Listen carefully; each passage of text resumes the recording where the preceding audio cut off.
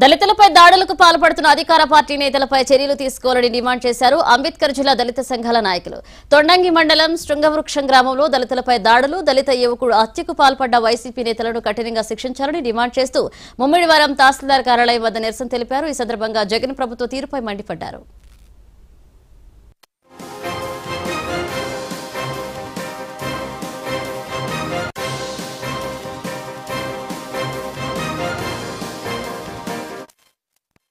రక్షణ.